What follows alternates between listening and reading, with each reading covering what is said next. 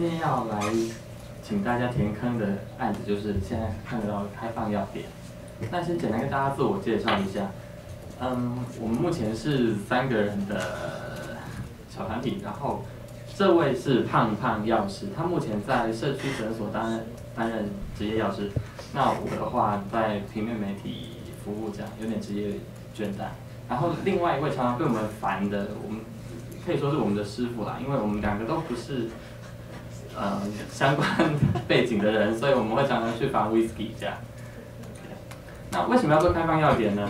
相信在座的人一定都会吃药。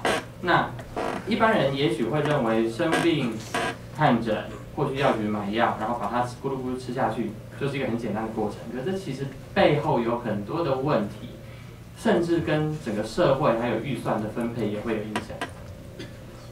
那我们的动机哦，会想要做这个东西的原因是因为，第一个，他自己是药师，可是呢。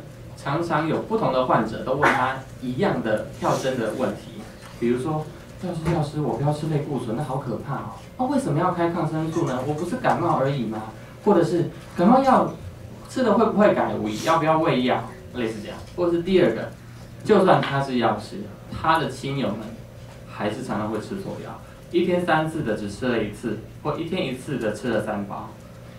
第三点是，我们希望说。这跟其实我自己在媒体服务，我就会发现说，乐听人的，嗯，媒体视图能力其实是可以由下往上改变的。同样的道理，如果一般的民众对于药品的资讯更了解，然后更清楚自己吃了什么药，我应该吃什么，我不应该吃什么，他能够跟医生讨论，他也知道医生为什么要开这个药给他的时候，久而久之，我们有机会可以改变现在的用药现况。甚至可以改善健保的财务。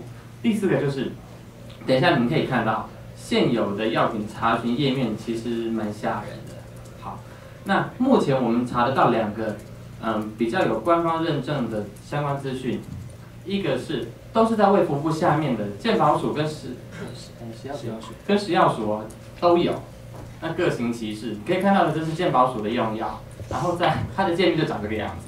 那再来呢？这是食药署的界面，你可以看一下，它长这个样子，很恐怖。所以我们想要做的是，第一个资料会诊，就是把现有的资料爬出来，还有我们希望以盲点为目标，做一个网站，让大家可以方便查询。这是我们想要做的目前出钱的模式，大家可以先看一下。如果有兴趣的话，欢迎大家来填坑。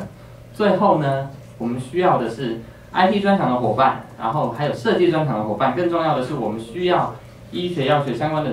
伙伴，为什么？因为现有就算 FDA 有释出相关的资讯呢，可是实际上呢，这个这些资讯还是有问题的，它有很多的缺漏跟资讯不及时的问题，所以我希望说，如果有这些相关的伙伴可以一起来加入我们的团队，谢谢大家。